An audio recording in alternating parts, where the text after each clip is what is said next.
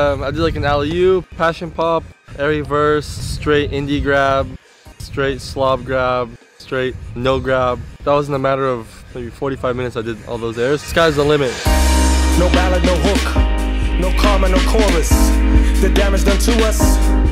I got to work with the team to perfect a, an air section. This one's a little bit tricky. It's nice to bounce back some ideas and, and uh, see what kind of section we can create. And this one looks better, but the other one is more solid, I think.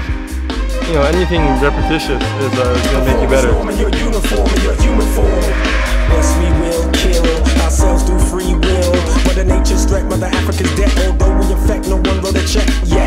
What we had before was really good. We just need to move it a little bit. Is it possible to move a little bit? I think we're getting closer and closer every time. So. Ah, but yeah, that's, that was a really good one.